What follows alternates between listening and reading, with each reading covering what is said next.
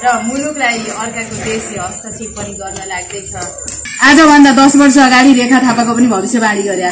ठ्याक्कै पुगो उहाँ आमा यहीँ हुनुहुन्छ। र म साँच्चीकै स्ट्रगलमा छु। कसैले मेरो कामलाई विरोध गर्नुहुन्छ भने आउनुहोस् न। मेरो नम्बर छ फेसबुक आइडी छ सारा छ। तपाईँले के गर्नु सक्नुहुन्छ? अझै ठुला नेताहरूमाथि अप्ठ्यारो पर्दैछ। यो कुरा ध्यान दृष्टि दिनु होला यो भविष्यवाणी हो। म कुनै पार्टीमा छैन। सूचना संचार मनोरञ्जन तथा समाजका संवाहक तपाईँ अनि हामी सोपाखा टेलिभिजन। म एउटा भविष्यवाणी गर्ने भविष्यवाणी गर्ने माताजी बाबाजी भनिसकेपछि अहिले हेर्ने दृष्टि फरकै छ। हिन्दू धर्मकै कुरा गरिहालिन्छ फेरि अलिकति अप्ठ्यारो नि। यहाँ सायद हिन्दू नै आउनु भएको छ सबैले आफ्नो आस्था नै छ विश्वास छ। तर के छ भन्नुहुन्छ भने अहिले निकै भाइरल भएका बाबाजीहरू माताजीहरू पनि देखिरहेको छु मैले पनि। कोही माताहरू ओडारमा गएर काम गर्नुभएको छ। कोही बाबाजीहरू निकै विवाह गरेर चर्चामा पनि हुनुहुन्छ। त्यसमा पनि अर्काका श्रीमती विवाह गरेर राख्नुभएको छ। यो पनि अनौठे कुरा छ। हुन त कतिपय मानिसहरूलाई त भाइरल मान्छेसँग यात्रा गर्यो भने आफू पनि भाइरल हुन्छ कि भन्ने अर्थ हुन्छ भने कतिपयलाई बिहा गरेर पैसा कमाउने धन्दा त हो बाबाजीहरू माताजीहरूको भन्ने पनि एउटा चलन हुँदो रहेछ। होला त्यो के हो मलाई थाहा भएन। म चिन्दिनँ ती बाबाजीहरू। म विदेशमा थिएँ।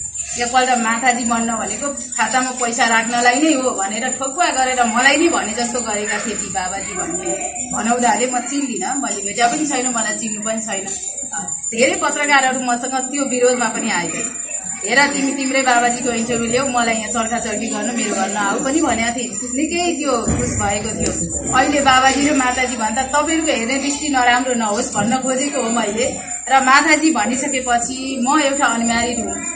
म बच्चैदेखि माछा मासु त जन्मै खान्न। म सात महिनामा जन्मेको मानिस हो। सात वर्षकै उसदेखि अलिअलि खेल भएको छ मलाई। नौ दस एघार वर्षदेखि त हेरेँ म गाउँमा जन्मेको मध्यम वर्गीय परिवारकै हो। मेरो बुवा अलिकति नेकपा भनौँ न अहिले नेकपा पहिला एमालेमा राजनीति हुनुहुन्थ्यो वडा अध्यक्ष नै हुनुहुन्थ्यो यहाँ वडा अध्यक्ष भन्दाखेरि सम्झी मैले। बुवा निकै समाजको चल्दा चल्दा नै अलिकति हुनुहुन्थ्यो। तर बुवाको क्षेत्र राजनीति फरक पर्यो। म चाहिँ दरबार हत्याकाण्ड हुनुभन्दा अगाडि पनि त्यो जेठ अठार चाहिँ पानी नपरेर निकै पानी बोलाउने चलन थियो। अर्काको त्यो हत्या गरेर पाठो ढोका के के काटेर हो। नगरौँ नगरौँ आज यो घरमा मासु मासु ल्याउनु हुँदैन भने नभन्दै समाचार नौ कति फेरि समाचार सुनियो। नभन्दै ती गाउँका अन्य मान्छेहरूले खाइ के गरे मेरो बुवासँग डिस्कस पनि गरेको थियो। त्यो कुरा सम्झना लागे। मसँग होइन माछा मासु नखाने भन्ने कुरामा पूजा गरेर ल्याउनु पर्ने हुन्थ्यो पैसा तिरेर कति भनिसकेपछि म त्यो बेलादेखि नै निकै भावुक ताता बच्चादेखि नै हो। तर अलिकति बढी हिन्दूलाई बचाउनुपर्छ यो हिन्दूलाई रक्षा गर्ने भनेको राजाले नै हो भन्ने मेरो भविष्यवाणी पनि छ। र मुलुकलाई अर्काको देशले हस्तक्षेप पनि गर्न लाग्दैछ। विभिन्न जग्गा जमिनहरू अन्य देशको सिमानामा गाँसिएका छन् भनेर आइ पनि रहेका समाचार प्रत्यक्ष छन्। अहिले विकृति विसङ्गतिहरू बढेका छन्। यी विस- विसङ्गति विकृतिहरूलाई कडा रूपमा कडाइका साथ नेपाल सरकारका प्रहरी प्रशासनले पनि निकै सहयोग गरेको देखिन्छ। हुन त मेरो आइसिडिसीको पनि राम्रै छ। उहाँलाई र एसएसपी विघ्न छ उल्लाबारीको प्रमुख पनि आउनुभएको छ उहाँलाई धन्यवाद दिन चाहन्छु म। पहिलोचोटि उहाँलाई देख्दैछु र उहाँहरूले मात्रै आएर हुँदैन। सतहत्तर हजार पुलिस भन्ने छ तर पैँसाठी हजार छैसाठी हजारले काम गर्नुहुन्छ अरे मैले पनि सुन्दै थिएँ। अरू कता हुनुहुन्छ कोही जागिर के भयो छोड्नुभयो होला कोही के भएको छ। तर यति धेरै पीडादायक अवस्था यो दर्दनायक अवस्थालाई चाहिँ दर्ददायक नै छ नि त यहाँ त। एउटा पुलिसले मात्रै जिम्मा छ पुलिसलाई भनेर हेप्ने दृष्टि अर्कै छ। तर समाज परिवर्तनको लागि चाहिँ तपाईँ र हामीहरू नै अगाडि बढ्नुपर्छ। उहाँहरूलाई त हामीले सूचना दिने हो। यो ठाउँमा यो हुन लागेको छ। विचार गरौँ है भन्ने हो। उहाँसँग भएका हतियार हामीसँग हुँदैनन् तर अहिले हात हतियार हरेक मानिससँग देखिन्छ। अहिले मान्छे मार्नेदेखि लिएर बलात्कार घटनाहरू पुलिसले त गराएको होइन। नेपाल सरकारले पनि होइन।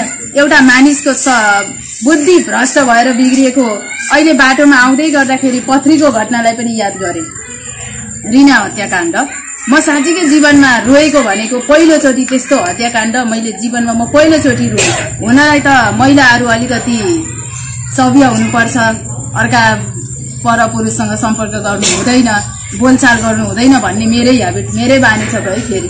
सिधा केटा मान्छेले हेऱ्यो भने किन हेरिस् भनेर मै गराउँछु प्राय मलाई आउने भक्तजनहरूलाई मजाले थाहा छ मेरो हेबिट र मैले त्यो सम्झेँ घटना फेरि मलाई आँसु आयो अलिकति कता। फेरि एक मनले सम्झ्यो हुन त उनको पनि गल्ती हो नि। अनि पुलिसहरूलाई चाहिँ सरुवा गराइयो होइन? अनेक भयो। तर माथिबाट आउने कुराहरू प्रहरीले केही गर्न सक्दैन। मैले यो कुरा पनि जोडेँ। अहिले भाइरल भइरहेका माथाजीहरू एउटा त आजभन्दा आठ नौ वर्ष अगाडि निकै भाइरल भएकी थिएँ। मै नै होला कि कसो? निकै पत्रिकाहरूमा आउँथ्यो सत्र अठार वर्ष अगाडि। अहिले पनि कतै गयो भने माथा भनेर भिडियो खिच्न भ्याइहाल्दो रहेछ। तर पत्रकार बाहेकका ती पत्रकारहरूको कुरा गर्दैछु जस्तै रेखा थापालाई पनि सम्झिन पुगेँ उहाँ आमा हुनुहुन्छ रेखाले पनि भन्नुहुन्छ। आजभन्दा धेरै वर्ष अगाडि होइन देशको भविष्यवाणी गर्न डर लाग्दैन माताजी माता भनेर हामी जिस्किरहन्छौँ। अलिकति साथी जस्तै अब हाम्रो मन मिल्छ भनौँ न। हुनलाई त मैले फिल्म कहिल्यै एकचोटि पनि हेर्न गएको छैन हलमा। मलाई त्यस्तो भ्याउने टाइम पनि हुँदैन। तर नहेरे तापनि उहाँहरूलाई सम्झिन्छु। मेरो लागि कलाकार पनि उत्तिकै डनहरूको पनि हातीहरू फेरि पुलिसको ठाउँमा डन भन्दा उहाँहरूले के गर्नुहुन्छ थाहा भएन। कोहीको त निधनै भइसक्यो दुई चारजनाको। होइन? उहाँहरू पनि मलाई साँच्चीकै मानेर आउनुभयो। भनिसकेपछि मेरो लागि फटा गुन्डा चोर सबै मान्छे मेरो लागि उत्तिकै हो। र म आज चाहिँ यहाँ आएँ। यहाँ देखिसक्दाखेरि हुन त म अलिकति सामाजिक माता नै हो। हेराउन आउनुहुन्छ। मेरो पनि चार्ज छ। मेरो भेटी चार्ज राखेको छु। मैले नियम छ। कुनै पनि कुराको नियम भएन भने त्यो हरेक हुन खोज्छ। त्यहाँ ढुङ्गा मुढा आउँछन्। आजभन्दा सत्त उन्नाइस सत्तरी सालमा एउटा बच्चा घरमा झगडा गरेछ। चक्कु यस्तो मुनि लुगा मुनि लिएर आएछ। सर्टमा सर्टमा चाहिँ रगतको खोप्ला देखेपछि के छ बाबु तिम्रो? भन्दाखेरि उसले चक्कु लुकाएर आएको रहेछ। किनभने मलाई यो पनि स्थितिले अलिकति नाजुक गरायो। मैले नियम राखिसकेपछि कोही मान्छे झट्ट आउन सकेन। तर के गरिबहरू म कहाँ आउन पाउँदैनन्? भन्नुहुन्छ होला। पाइन्छ। मैले गरिबहरूलाई फ्रीमा हेरिदिएको छु। विभिन्न आमाहरूलाई सेवा गरेको छु। आर्थिक सहयोग गरेको छु विभिन्न ठाउँमा। लाखौं सहयोग गरेर त म सक्दिनँ म एउटा माथाजी हो भविष्यवाणी गरेर गरी खाने हो। मलाई कसैले तलब दिँदैन माथिबाट तलब आउँदैन। म सरकारी कर्मचारी होइन मेरो एउटा प्राइभेट काम हो र प्राइभेट कुरा हो यो मेरो व्यक्तिगत जीवन हो। उहाँ भन्दै हुनुहुन्छ हिन्दू धर्ममा एउटा मान्छेले मलाई युट्युबमा बोलेर छ हिन्दू धर्ममा पैसा लिने चलन छ? भन्दाखेरि मैले उहाँलाई रिप्लाई दिएँ पुराण हुँदा तलब तोक्दैन तोक्छन्। श्राद्ध गर्दा तोक्दैनन् तोक्छन्। त्यसैले समय अनुसार चल्नुपर्छ। मेरो त यो बिजनेस हो काम हो भने हजुर मैले उहाँ हिन्दू धर्मको अङ्कल यहीँ हुनुहुन्छ म हामी भयौँ सबै हौ। तर हेर्नुहोस् केही पाउनलाई केही गुमाउनै पर्छ। त्यसैले मेरो पेसामाथि मेरो काममाथि गर्ने हस्तक्षेप गर्न खोज्ने पत्रकारहरू पनि रहेछन्। र व्यक्तिता कति छन् कति छन्। तर जे होस् मैले परास्त गर्दै लाखौं भक्तजनहरूलाई हेरिसकेँ एक दुईजनाको कुरो होइन। हिजो आएको माता होइन म। आजभन्दा दस वर्ष अगाडि रेखा थापाको पनि भविष्यवाणी गरे ठ्याक्कै पुगो उहाँ आमा यहीँ हुनुहुन्छ। उहाँ पनि धेरै विश्वास गर्नुहुन्छ मलाई। यहाँ ऊ धर्मराज आच- आचार्य हुनुहुन्छ सात आठ वर्ष अगाडि हेरेको। विनोद नेउपाने हुनुहुन्छ विश्वासिलो पात्र राजनीति गर्नुहुन्छ ठुलै पोस्ट हुन्छ उहाँले जित्ने कुरा उद्योग वाणिज्य संघको पनि मैले भविष्यवाणी गरेका थिएँ। उहाँको नाम ल्याउँ न यहाँ अब हेरौँ न आउनेहरूको त कुरा त गर्नु पाइन्छ होला। त्यो जमानाको कुरा पनि सम्झे भने विभिन्न कुराहरू माओवादी संकटकालीन अवस्थामा माथाजी भनेर हिँडिराख्दाखेरि मैले अब त मुलुकमा फेरि राजतन्त्र नफर्केसम्म मुलुक बन्दैन भनेर भविष्यवाणी गर्दा निकै ढुङ्गा मुढाको गस्ती पनि आयो हजुर। प्रहरीहरूले नै जोगाउनु भएको थियो। दुई हजार पैँसाठी छैसाठी सालको कुरा याद गरे। र म साँच्चीकै स्ट्रगलमा छु। कसैले मेरो कामलाई विरोध गर्नुहुन्छ भने आउनुहोस् न मेरो नम्बर छ फेसबुक आइडी छ सारा छ तपाईँले के गर्नु सक्नुहुन्छ? र माथा भनेको छ बोयफ्रेन्ड बनाएर हिँड्ने। गुरुजी भनेको छ गर्लफ्रेन्ड बनाएर हिँड्नेहरू पनि यो विकृति हो। ठुलो विकृति हो। यो मेरो घोर विरोध छ। हेर्नुहोस् न बिहा गर्न मन लाग्यो। किन भाइरल हुनु बाबा हुनु किन माता हुनु? त्यसै बिहा गरेर छोराछोरी जन्माएर बसे पनि त भयो। त्यसले गर्दा हाम्रो विकृति यो समाजलाई होइन म सबैसँग निकट छु म एमालेसँग माधुकुमा नेपालसँग पनि निकट अब धेरै कृष्णबहादुर महराजसँग पनि राम्रै थियो। अब अहिले उहाँको घटना घट्यो। अब अहिले उहाँलाई मैले सम्झिन पुगेँ के पीडित घटना घट्यो भनेर थुकेर हिँड्ने त कुरो छैन। उहाँले हामीसँग त राम्रै कुरा गर्नुहुन्थ्यो। अब भयो उहाँ घटना घट्यो। त्यो पनि फेरि मेरै भविष्यवाणी भएको छ। केही ठुला नेताहरूमाथि मुद्दा मामला लाग्ने छ भनेको थिएँ। अझै हुँदैछ। हेर्दै जानुहोस् है। अझै ठुला नेताहरूमाथि अप्ठ्यारो पर्दैछ। यो कुरा ध्यान दृष्टि दिनु होला यो भविष्यवाणी हो म कुनै पार्टीमा छैन। तर मैले एउटा मात्रै चिज राजालाई देख्दाखेरि के फिल गरेँ भन्नुहुन्छ भने न राजाले म राजा हुन्छु भनेर सोधिबक्स्यो न मलाई यो मुलुकै चलाउनु छ भनी बक्स्यो। कुनै नेताजीहरूकोमा जाँदाखेरि चाहिँ माताजी म मन्त्री बन्नुपर्ने छ जसरी पनि गराउनुहोस् न तपाईँको लागि म विचार गरौँला। तर उहाँहरू मन्त्री नि हुनुभयो सांसद नि हुनुभयो प्रधानमन्त्री नि हुनुभयो केही पनि। केही चाहिएन मलाई। म आफै कर्म गर्दैछु। तर पत्रकारको जस्तै मेरो पनि यो पेसा हो भन्छु है।